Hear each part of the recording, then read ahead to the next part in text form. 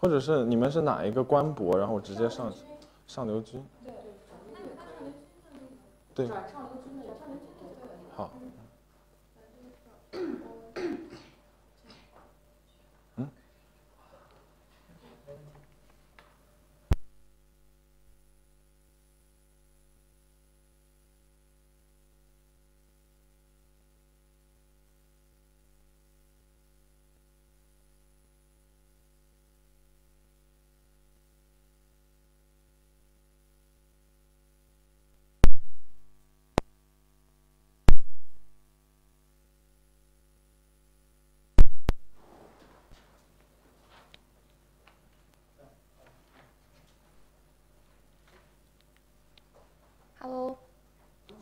OK，呃，那个咱们直播间的朋友们有没有都进来呀？然后今天我们非常有幸的邀请到了贾凡来我们网易做客，啊，先请贾凡给就是我们直播间的朋友们做一个简单自我介绍吧。嗯，Hello，大家好，我是贾凡，然后欢迎大家啊，今天打开我们这个网易的上流君的这个直播来观看我的跟大家的这样的一个互动和对话，谢谢大家。嗯，好，行，那我们咱们采访就开始啦。呃，作为全 A 成绩硕士毕业的呃茱莉亚音乐学院高材生，在读博士，呃，生活上也是一个非常佛系的男孩子，是怎么要想到要参加深入人心的？其实，嗯，大家都说我佛系嘛，其实当时参加深入人心的时候，也是啊一个无心插柳，也是一个比较佛系的一件事情。就是很巧的是，因为啊，我有一个师妹。他正好是呃湖南人，他是长沙人，所以他的朋友圈里会有很多啊我们长沙的编导的一些微信，他就看到了有我们这样深入人心的一个栏目，他就把那个截图发给了我，啊然后呃跟我说说，哎师哥这个节目好适合你啊，然后当时看了一下，我说嗯一个美声类的节目，然后我说呃要不我就呃投一个简历试一下。所以当时因为下面是有他的呃 email 的一个联系的一个方式，所以当时我就把自己的简历还有照片，然后发到了那个邮箱里。其实当时也是很佛系的，当时也没有去想主动去，因为当时啊这边呃我刚回国嘛，美国那边比较习惯于用呃电邮 email 去发一个通知，这边比较呃流行呃。国内比较流行的是微信，所以一开始我看到微信群，我说是不是诈骗集团？对我当时就想啊，那就等如果是有缘分的话，他们会呃可能会看到我的简历联系我啊。果不其然，就是啊，他们真的呃有一个导演发现了我的简历，然后给我打的电话，对，这样我才结缘了深入人心这样的一个栏目。嗯，去之前有没有给自己预设一个成绩？其实没有，我觉得嗯。预设一个成绩，有的就是不要吃胖，因为湖南的东西真的非常的好吃。对我当时就想，嗯，只要我自己不要变胖就好了。对，其实对于演唱上面，我觉得，呃，更多的是我想把自己所想要表达的东西，通过这样的一个平台，通过这样的一个舞台，让更多的呃观众朋友们知道。我也希望啊，能够通过自己的一点小小的力量，让大家更多的。关注到我们美声还有音乐剧这样的一个呃，可以说在国内稍微小众一点的表演形式，让大家更多的可以走进剧院去聆听我们的演唱。呃，那么在节目中呃，你是第一个登台演唱，呃，有紧张吗？嗯，还真的。蛮紧张的，对，因为啊，可能对于我来说，更多的可能是比较熟悉于登上啊，比如说，呃，歌剧院或者是音乐厅这样的一个舞台，啊，一下子就有很多摄像机还有灯光全都对着我，然后呃那样的一个环境还真的是比较紧张，因为一切对于我来说都是陌生的，甚至是手拿麦克风都会真的是有一点紧张。我，所以我当时可能只是沉浸在我表演的那首作品上了，但其实后来我才发现，我在唱手挽手的时候，只对着尚雯婕老师一个人在唱。对，可能呃，看到尚雯婕老师那么和蔼的坐在那里，我觉得看着她唱手挽手，我觉得可能会啊，释放一些自己那种紧张的情绪。呃，结果嗯没有能拿到首席的评定啊，有没有很失落？嗯，我觉得就是说句实话，当时真的是有一点小小的失落，对，啊、但是我觉得，呃，因为呃，我觉得一个舞台的一个表演者，最可怕的一点就是你不知道前进的方向。我觉得当时没有拿到首席的一个评定，对于我来说可能是一件好事，因为以后的路还有很长。即使真的是第一期，后面还有十一期的节目，我觉得自己有一个目标，而且我觉得三位出品人老师也给我了很大的肯定，还有很多的非常有建设性的意见和建议。我觉得对于我来说是，对我长久的一个发展来说是件非常非常好的事情。当然了，你说，嗯，不不不那个失落也，就稍微有一点小失落了。对呃，有选手说是因为选曲不当，那你怎么看？嗯，当然，如果是啊、呃可以啊、呃再选的话，我可能会啊、选择更，比如说活泼轻快一点的，或者是我们的呃歌剧咏叹调的选曲，或者艺术歌曲的选曲。但是我当时的一个想法是因为啊、大家可能比较期待我唱这样的一些作品，毕竟我是啊、国外留学回到国内的舞台参加这样一档节目嘛。我觉得在国外学习了这么久，我觉得呃非常重要的一点，我觉得可能就是对于我来说，我觉得民族的就是世界的，对，而且回到国内的舞台上，我想要给大家展示一下，就是嗯我们民族自己的民歌，对我们自己的一些呃东西，对，所以这个就是当时我选择手挽手，而且我自己也非常喜欢这一首作品，因为啊，手挽手这首作品也是男中音在啊，不管是你从学习啊，还是从呃音乐会，都是一首非常经典的一个曲目。嗯，刚刚你也有提到，就是说如果有机会可以重新选择一首就是演唱曲目的话，你也有一些自己内心的一些非常心仪的一些歌曲，你可以现场来一段吗？非常新，我觉得我的心仪的歌曲在节目里头唱过了。对，因为我当时非常喜欢的就是《狮子王》那一首歌嘛，我再可以再再唱两句。There's a calm surrender to the rush of day when the heat of the rolling wind can be turned away and each enchanted moment and it sees me through. It's enough for this restless warrior just to be with you. Can you feel the love tonight? It is where we are. It's enough to make a kings and the vagabonds believe the very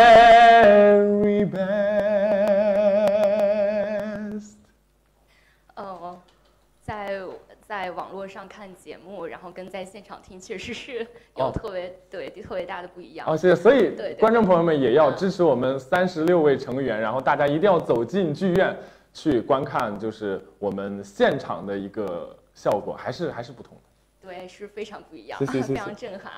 呃，你会给自己在节目中的表现打多少分呢？嗯，哎呀，这个问题好难啊！你能也不能说太高吧，也不能说太低。嗯，我觉得我自己的一个评定嘛，我觉得我给自己打八十五分吧。对我，我想给自己打八十五分，因为呃，我觉得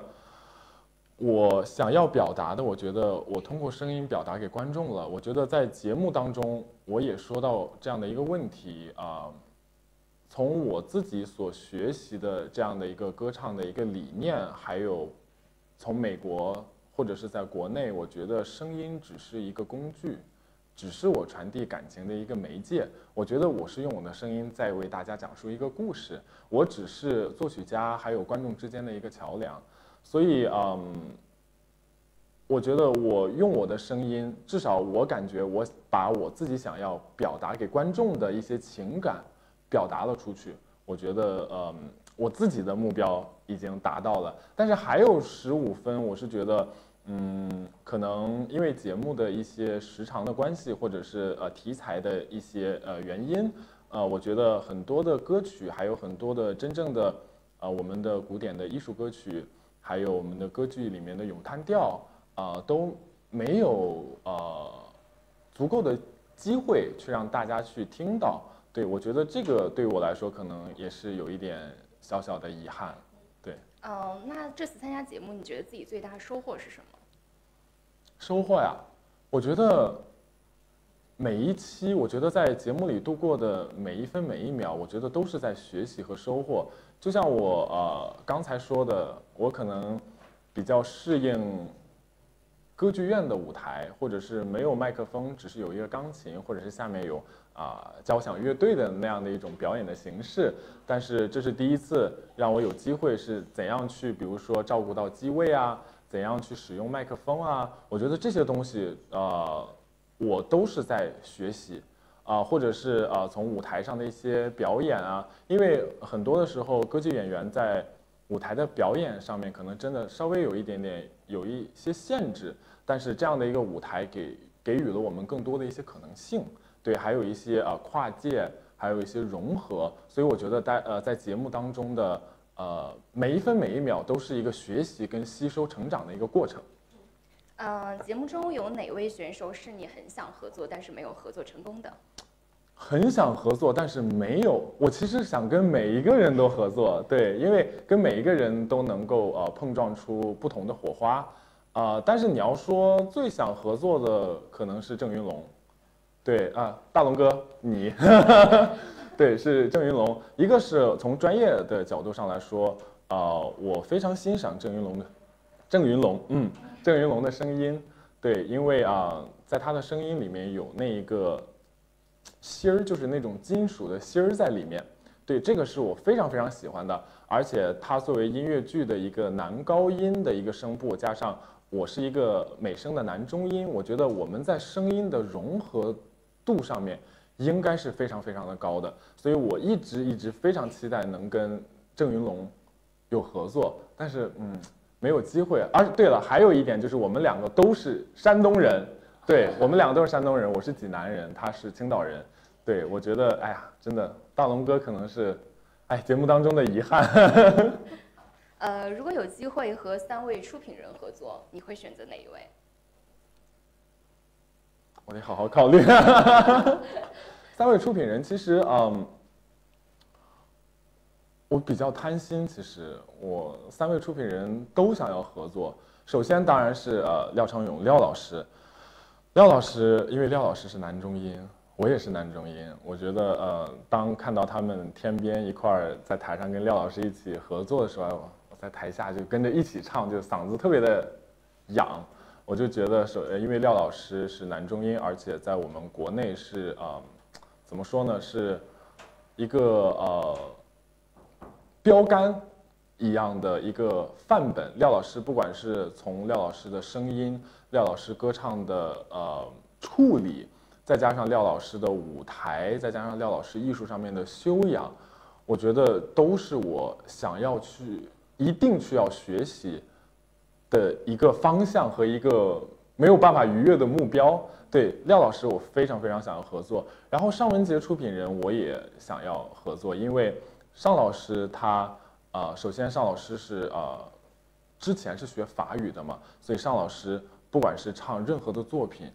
从专业角度上的语感非常非常的好，而且尚老师自己也在做一些跨界，做一些呃电音上面的一些尝试。我觉得跟尚老师合作可能会碰撞出一些不同的一些火花，一些更多的一些化学的一种反应，啊，还有就是刘宪华出品人，刘宪华出品人，当然我觉得跟他在一起可能会，呃，更多的是训练一下自己的肢体在台上的一种展现，还有一种魅力，我觉得这个都是一个舞台表演者必须要学习还有具备的，所以嗯。比较贪，我这个人。呃，在节目中，你与很多选手的友情都深入人心，还被选手和粉丝亲切的称为“樊妈”。啊，那么作为樊妈的你，最喜欢哪个仔？我呀，就首先就呃妈妈 就就啊就有吗？就对，其实我觉得，因为我在呃三十六位成员里面是属属属于大人组，对我是属于大人组，然后呃下面的都是呃很多弟弟们，对，当然就是廖老师廖嘉玲也比我小两岁，呃鞠红川也比我小两岁，对我是属于大人组。所以呃，在呃对待年纪比较轻的成员们的时候，有的时候就觉得我应该有这份义务和责任去呃照顾一下，因为啊很多的成员也是第一次去参加这样的真人秀的一个栏目，去离开自己的父母。我觉得我作为一个比较年长的一位成员，在不管是从专业上还是从生活上面，只要是啊有他们需要我的地方，我觉得我都应该不遗余力的去帮助他们。当然，你说最喜欢哪一个呀？我都很喜欢，但是他们都都各有各的特点。比如说，呃，方书建，方书建就比较皮，对，出去的时候就经常说，哎，说凡哥，就是我想吃这个，我想吃那个，我说好，我带你去吃，对。然后，嗯，蔡瑶就是，蔡瑶有的时候还，你看蔡瑶个子高高的啊，就还是一个就是小孩子，对我比蔡瑶大。七八岁呢，对我比蔡瑶大七八岁，就有时候看他就像看见自己的弟弟一样。因为我可能是因为是独生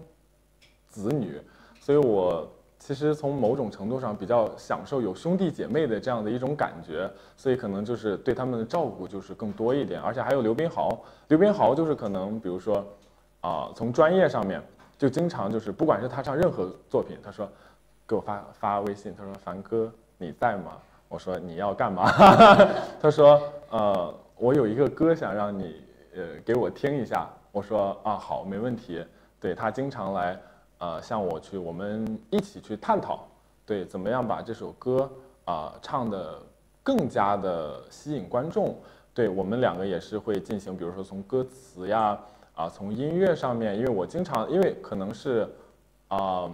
我的生活的经验比他们要丰富一点。对我经常会用我自己从茱莉亚学到的那种，因为老师也会对我们进行一些嗯启发，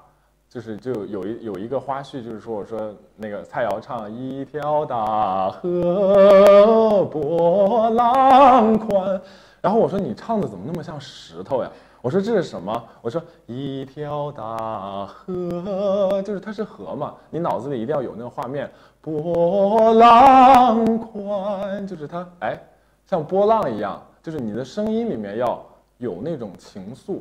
就是风吹稻花香两岸，就是风吹过的，它是稻花呀。我说蔡瑶，你不能唱成狗尾巴草，我说你要唱花儿。对我觉得就是这种非常快的，因为你真的要是从声音的技术上来说的话，可能嗯一两句话很难去对它有一个非常。呃，快速的一个提高，对，但是通过这些小的一些点，我觉得可以，呃，对于他们从音乐的处理上面，还有他们的想象上面，就可以对赋予这个作品更新的生命力。嗯，那么私下就是像你刚刚提到的，就你们会练习和去吃啊，对，吃啊，对，你们还会一起去做什么？啊，还会，就我们，对，我们还去了鬼屋。去了鬼屋，所以是谁最怕鬼？都怕，就是鬼屋的那个事情，真的真的是就是，呃，你看当当时那个洪志光也是有 Q 到这件事情嘛，对，就是让洪志光高高的个，他这是他自己说的，这个不是我说的，他也比较的怕，对，呃，就其实私下里的生活就还挺。丰富的，我觉得，但是也是用仅有的时间，因为我们更多的时间可能可能会去要去啊分给我们下一次公演的舞台去进行排练，而且可能啊在休息的时候，因为录制期真的是非常非常的辛苦，大家可能仅仅看到的是呃电视上一个半小时这样的一个录制，但是更多的是所有幕后的三十六位成员加上出品人老师，还有我们所有的工作人员。没日没夜的进行这样的一个呃努力，就是有的时候我们拍大夜可能是要录到凌晨三四点，然后回去睡上三四个小时，第二天十点又要进行新一轮的妆发，就其实还是嗯挺辛苦的。所以有的时候呃有时间的时候，就是可能在屋里就是多休息一下，或者说我们聊个天儿啊，就是点个外卖之类的。对，嗯，在这样一个嗯神仙打架的节目里啊，除了高学历、高素质，各位神仙的颜值和身材也被很多网友备受关注。哦呃，对，哦在 在特别爱吃甜品的情况下，可以分享一下你是怎么样瘦身成功的吗？哎呀，就是爱吃甜品，其实啊、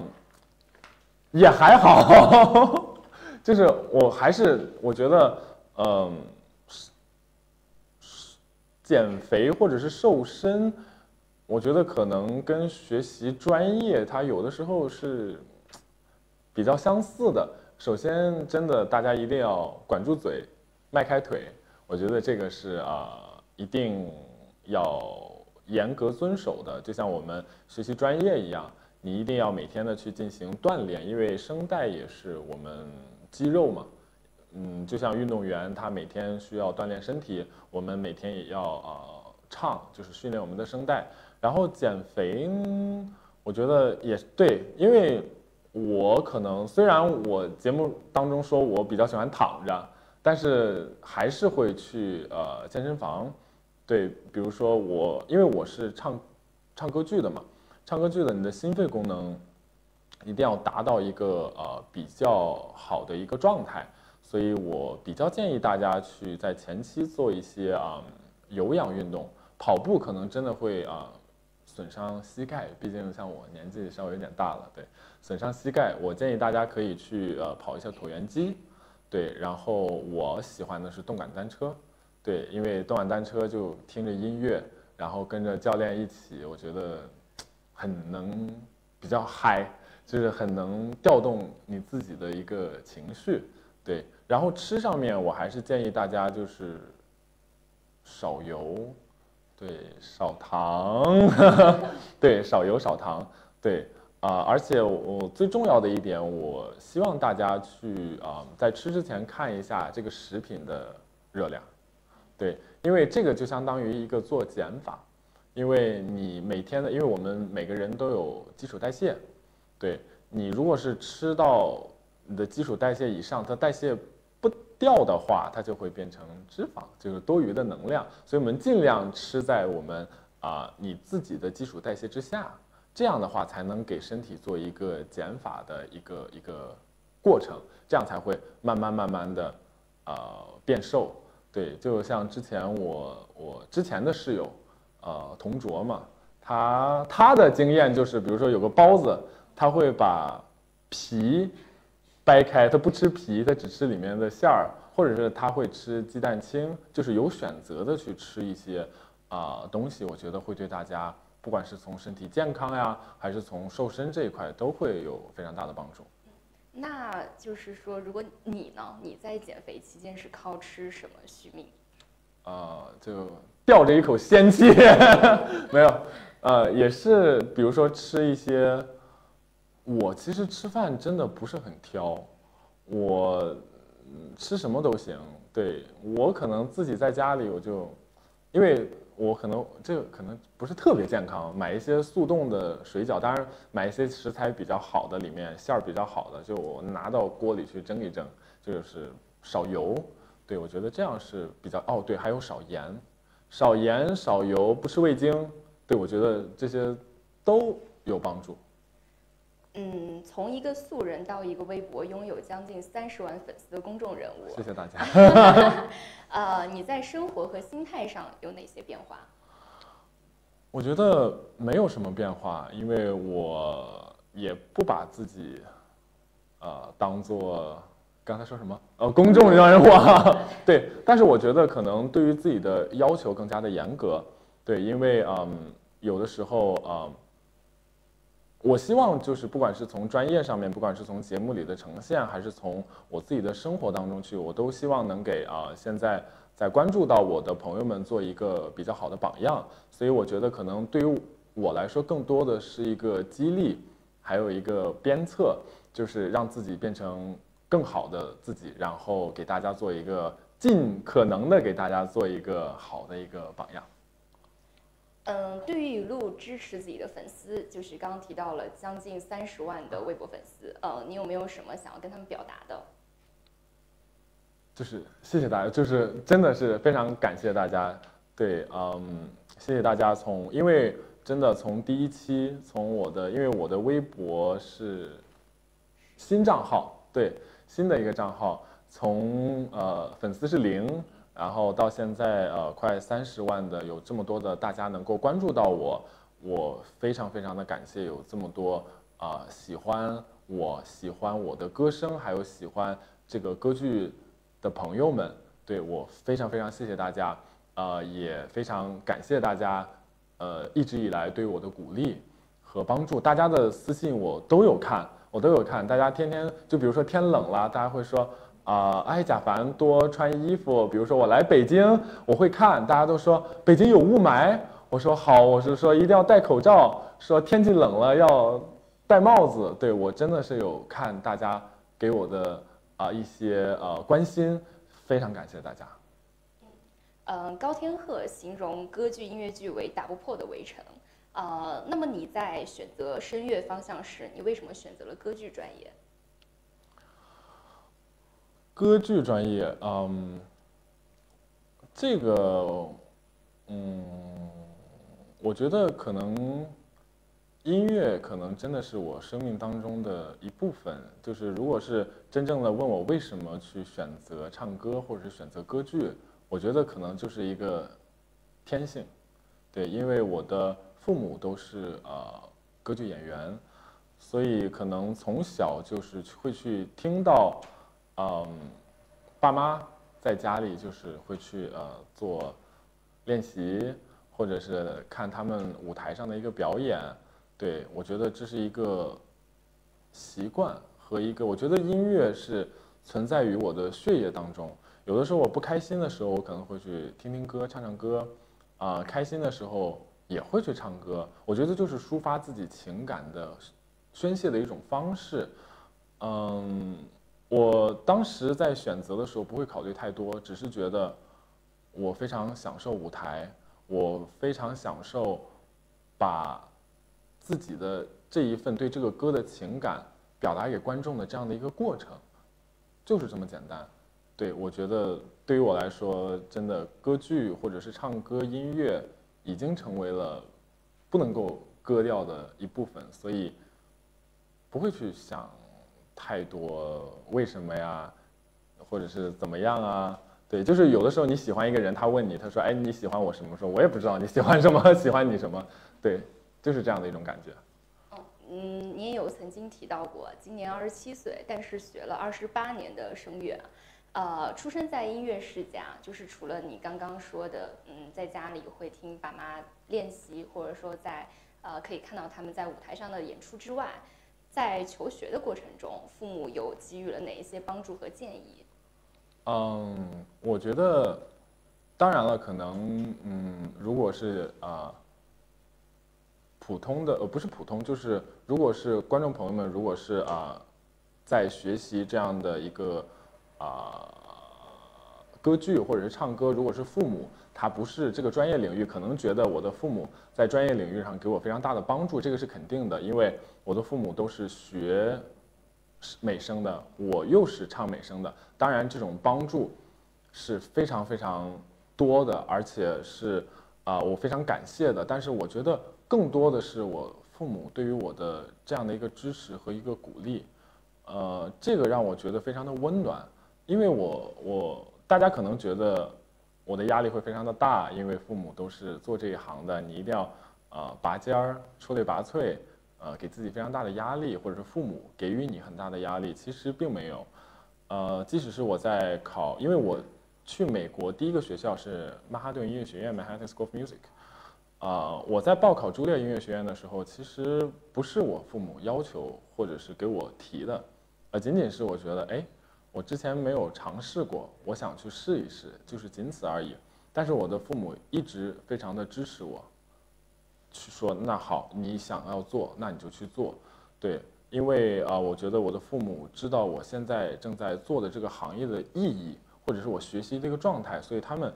从来就不会要求我怎么样，只会默默的支持，或者是给我一些建议。但是我觉得更多的一些啊决定性的主意还是我自己去来进行思考。嗯，听说你在国外的时候不玩 ins 也不玩 Facebook 啊，那你平时就只学习吗？就 ins 我就可能稍微稍微的有一点懒，对，就是 Facebook 可能更多的是啊，跟比如说你要去到一个呃夏令营，就 Music Festival，你跟其他人进行联系，就像微信一样的一个一个工具。Ins 的话也是有，但是就。里面什么都没有嘛，对，嗯，平时可能就像我说的，有时间我可能会去啊健身房，或者是专门有那种单车房，因为纽约会有很多专门的单车房，就是我去的一家叫 So Cycle，就是里面很多人陪着你，而且真的他们会，如果是你在力竭的时候，你身边的人会给你加油鼓劲儿，我觉得那种状态是我非常喜欢的。就平时如果是有时间的话，我可能会去啊稍微的锻炼一下，然后呃学习当然也是最重要的一部分，因为可能周末的时候你要准备下个星期的一个一些作业呀，或者是考试，呃再或者来如果是有比较长的一个假期的话，可能会啊。跟室友一起，我们有一个非常小的聚会，我们会啊做饭，对，去呃中国的超市买一些呃食材，然后会去在家里就是做饭，邀请其他的朋友来跟我们一起来分享，对。嗯，刚刚贾凡提到的美国那一间健身房，大家有机会可以去打卡一下。啊，呃，在茱莉亚学习期间遇到的最大的困难是什么？我每天都是困难。对，我觉得一个困难总会呃接着一个困难。你说，因为我印象非常深刻的有一次呃歌剧的一个表演，嗯，啊是呃普朗克的一个歌剧《La Mamma di Teresa》，呃蒂雷西亚这样的一部歌剧，呃我当时饰演的是呃一个主角嘛，因为呃那一场会有。比如说呃 o p e r News 就是美国的，就是歌呃歌剧新闻，还有呃时代周刊，还有时代呃晚报都会去做进行报道。当时对于我来说压力非常的大，啊，我就记得当时可能嗯在在演出前就是情绪比较的失控，就因为你很难找到一个宣泄的一个一个一个一个窗口嘛，对，所以当时我记得我跟我的父母去交流。啊，我爸爸就是给我发了一段话，就是让我感到啊非常的温暖。我爸说，就是呃，不管你要做任何的一个决定，啊，爸爸都都认为你做的决定是正确的，我们永远会在背后支持你。然后后面加了一句，他说：“你知道我有多爱你吗？”就是我爸从我爸的嘴里，就是给我发了这样的一句话。我当时看到之后，我就觉得浑身充满了能量，所以。还是像刚才一样，我觉得家庭带给我的温暖，我觉得可能比技术上面对于我来说帮助更大。嗯，，Julia 全 A 这个光环啊，对你来说意味着什么？意味着过去。对，因为我觉得，嗯。不管是我考到 Julia，或者是以什么样的成绩毕业，我觉得只能代表之前的一个成绩，只是我人生或者是艺术道路上的一小步。如果是我永远抱着那个光环，或者永远抱着我是 Julia 毕业的，我不会有更多的进步。所以啊，当时刘宪华出品人在我试唱的时候就问我，他说：“呃，如果是你作为 Julia 的学生，呃，在这次试唱没有拿到首席的一个评定的话，你。”会感觉怎怎样？我我就我就说，我说那个仅仅是代表一个过去。我说现在的贾凡仅仅是一个歌手，重新出发。对我觉得对于我来说，那个仅仅是可能代表了过去。当然，他也会给你从啊艺术上面，或者是从文化上面给你很多的一些积淀和一些知识，引领你走到一个非常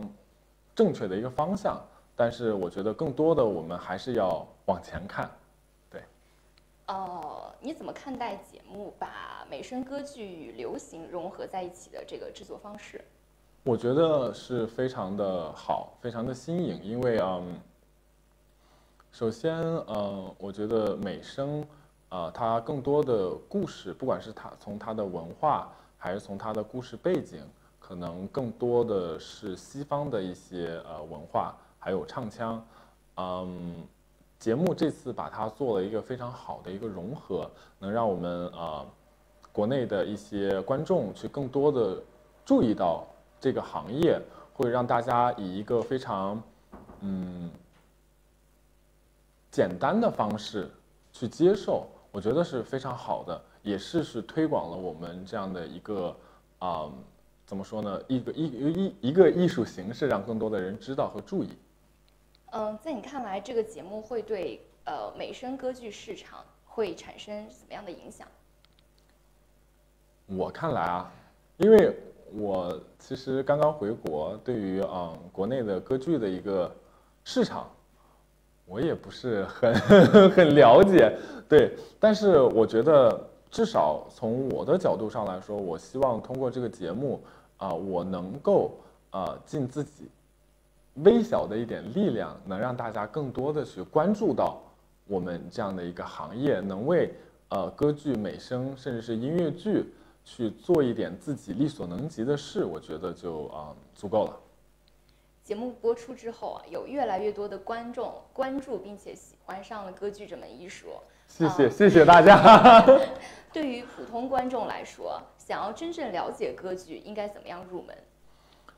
想要真正了解歌剧啊？嗯，我觉得最直接的一个方式，当然就是大家走进剧院，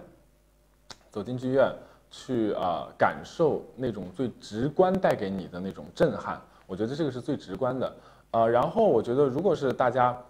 嗯想要更多的去了解歌剧的话，比如说，OK，好，那我们买票了，想要去看某一场歌剧，我建议大家可以就是。先上网，因为现在网络时代非常发达，先上网去看一下这个故事，哎，它讲的是什么？就是大概的一个故事的一个背景。因为很多的呃歌剧都是从很伟大的文学创作创作而来的，就比如说那个维特，呃，或者还有茶花女，它都是从我们的一些非常著名的小说改。改编过来的，所以我觉得大家可以先去看一下这个故事到底讲的是什么，然后再走进歌剧院，我觉得会有更多的一个代入感，就是大家会更理解台上的人物之间的关系，因为可能歌剧短短的两三个小时，可能在一开始不会把所有的关系交代的非常的明确，这样大家如果是自己能够花大概五到十分钟，去看一下到底是什么意思，我觉得会对大家有非常大的帮助。可以推荐一些你自己非常喜欢的歌剧作品吗？可以啊，嗯，首先我觉得，当然我从我的专业角度上来说，我非常喜欢巴洛克时期的作品。当然，巴洛克时期啊，我们也知道，因为巴洛克时期嗯的作品相较于现代来说有非常大的区别，即使是从唱法上来说了，就比如说嗯，像假声男高音。对我们这次节目也有两位非常啊优秀的假声男高音。就一开始大家可能不知道假声男高音到底是唱什么样的一个角色，其实他就是在嗯巴洛克时期，他是我们以前是叫 castrati，他是呃阉人歌手。对他表现的不是女性的角色，他表现的是英雄，因为呃。他们觉得就是这种比较天籁的声音非常适合演英雄，所以就是很多亨德尔写的歌剧，他的歌剧的名字就是以这一个角色为命名的，他们都是英雄，所以他更多的表现的还是一个男性的一个角色，只是用那样的声音的一种形式表现出来。对，呃，哎，哦，好像介绍歌剧对不对？对，就是。推推荐。对我非常喜欢巴洛克时期的，但是可能大呃大家就是。接受起来可能稍微有一点不是那么入门，啊，其次我就非常喜欢维特，对，因为小的时候听我爸唱的最多的就是 Pourquoi me lever，Pourquoi me lever，而且我自己也演过维特这部歌剧，非常美的一部爱情故事，啊，这个是法国的，呃，还有嗯德国的，我比较推荐小朋友去呃看《汉松的 Gretel》，因为这个本来就是一个童话故事，我也演过，因为是呃女巫吃小孩儿，我觉得对于小孩子来说可能。更加的有代入感，因为它本来就是一个童话故事。I m he, I m 哒哒哒哒哒哒哒哒，也非常的轻快。呃，意大利的歌剧我比较推荐，呃，也是我演过的，呃，《波西米亚人》La Boheme，因为它从故事的情节，还有普契尼写的这些唱段都非常的感人。对，呃，而且马嘉也是唱过。这个大家也是有共鸣。再去看整部歌剧，哎，知道他为什么要唱《冰凉的小手》。那唱完《冰凉的小手》之后，米奇阿玛诺咪咪咪咪就开始介绍自己了。后面到底发生了怎样的一个人物关系和爱情故事，非常的好。呃，英文的歌剧的哇，英文《西区故事》，对。因为戏曲故事也是我非常喜欢的一个比较现代的，可能大家接受起来，因为它从呃写作的形式上非常接近于音乐剧、百老汇 Broadway 的一种形式，所以大家接受起来可能更加的轻松一点。对，咱们那个直播间粉丝就赶紧拿出小本本记下来。呃，在你看来，怎么样才能成为一个优秀的歌剧演员？怎么样成为优秀的歌剧演员呀？我觉得这个“优秀”这个词非常的难去定义，因为每个人对于呃优秀的想法也是不同的。我觉得更多的就是，就像我说的，你能把自己的情绪表达给观众，观众能够接收到这样的一种感动，你能够感动到观众，我觉得这就成功了。呃，对那些想要报考歌剧专业的学生，你有没有什么建议可以给到他们？啊，呃，报考就是还没有考是吗？对，因为呃，可能不是学专业的，就是觉得我们在舞台上唱唱歌，非常开心的一件事情。但是所有的事情，当你把它作为一个职业去进行呃训练的话，都是一件非常枯燥的一件事情。所以大家如果是在选择。不管是歌剧、音乐剧，还是唱歌这样的一个专业的话，我觉得一定要考虑好，能不能吃得了这份苦，因为真的是非常非常的苦，因为你需要每天的去练习，反复的去练习，因为肌肉需要一个适应和记适应还有记忆的一个过程，所以大家一定要想好了打一个持久战，就是可能。嗯，每天就是望不到头的那种训练的一个状态，还有就是呃，大家一定要有一个强大的心理素质，因为像声乐难就难在看不见摸不着，老师教给你的东西完全是通过你的想象，再运用你的控制你的肌肉发出来的声音，嗯，我觉得是因为每个人的想象是不同的，对，所以这个也是非常难的一点。而且有的时候不是说我唱的时间越久，我就会唱得越来越好，它都是有一个反复还有循序渐进的一个过程。就是大家一定不要轻易的放弃，一定要相信自己的专业老师，跟着专业老师的，呃，学习的这样的一个规划，一步，sorry，一步一步的去进行这样的一个学习，一定要打，就是做好打持久战的这样的一个准备。有想过博士毕业之后的发展方向吗？没有哎，就就像我我说我半年前都不知道我会要参加湖南卫视的节目。我觉得更多的就是呃做好当下的事情。当然你可以有一个长线的一个目标，但是我觉得更多的是把把我们的怎么说呢？把我们的精力放在就是化整为零嘛，就是把我们大目标。分散成一个一个的小目标，一点一点的去实现它。到时候是想要回国发展，还是在国外发展？嗯，那大家持续关注我。OK，呃，那如果是回国的话，你觉得自己需要在哪些方面做一些转变来适应呃国内的音乐市场？国内的音乐市场呀，国国内音乐市场是是是，我对，就像我说，我我不是很了解呃歌剧市场一样，我其实也啊、不是很知道国内的音乐市场，但是我总的来说有一点我觉得是不能丢的，就是我对于音乐的这样的一份热爱，还有对于啊唱歌唱的这么样的一份执着，我觉得所有的一些外围的条件。把它全部剥离开之后，最根本的就是把本专业做好。我觉得做好自己，不忘初心，我觉得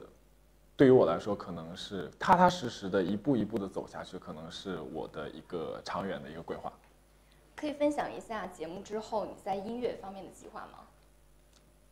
哦，哦哦，对我，大家持续关注我。对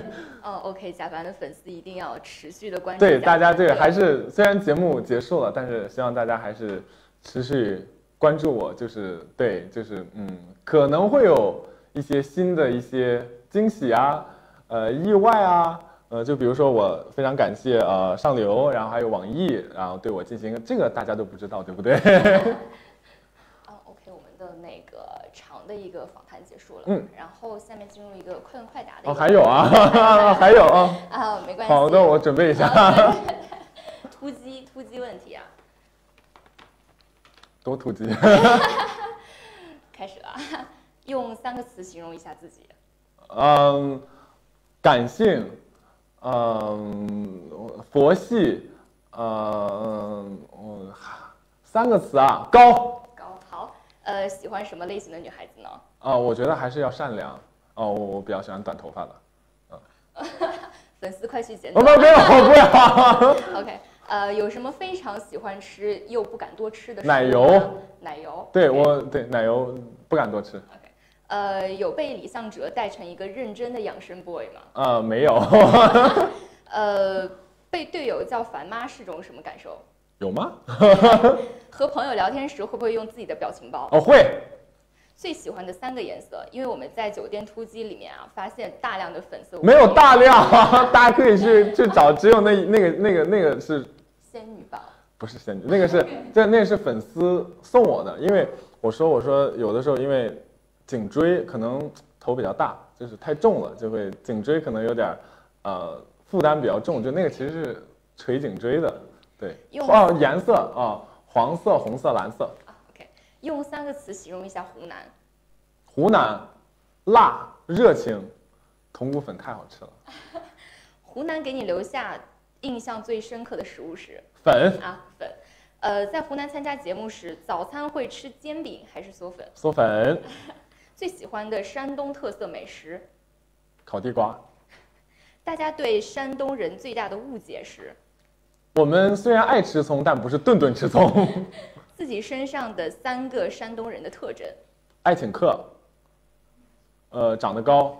呃，长得帅啊，不是，这不是那个，我记得好像有人说说，就是安利了每个省安利了什么什么样不同的东西嘛。我看有人说说山东安利的是男人。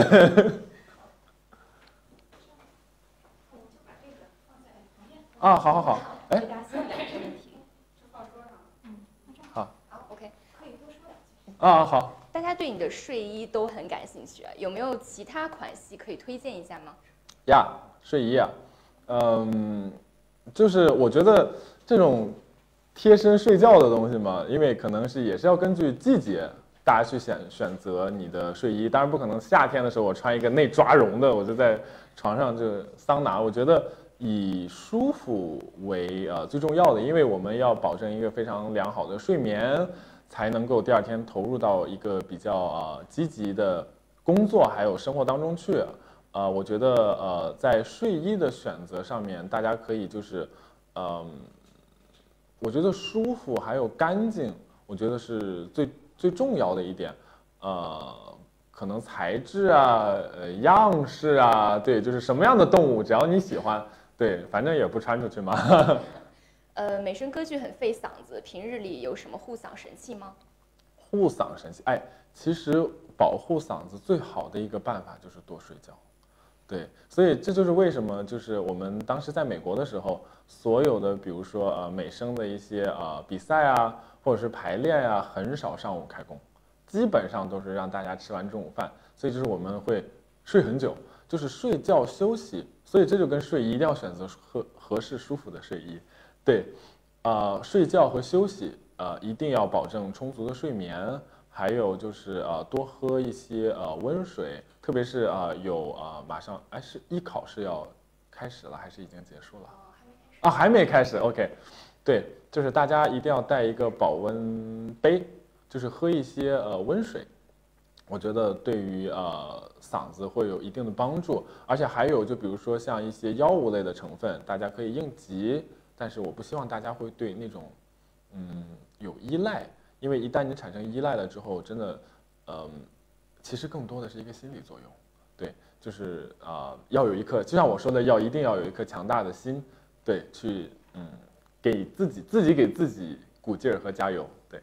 呃，最后用山东话对喜欢你的粉丝们说句话吧。山东话，嗯，我我想一下，嗯，因为我其实我不是很会说山东话，因为我的外公外婆就是。从他们两个是学中文的，所以小的时候我都是说普通话，但是现在普通话带一个济南的味道，就我我试一下啊，呃呃，各位观众朋友们，大家好，我是贾凡，呃呃感感谢大家对于我我的喜爱，对，希望大家更多的支持我。OK，呃，我们的直播现在就结束了，嗯，然后希望大家可以继续喜欢关注我们的贾凡，然后继续关注我们的网易新闻上流工作。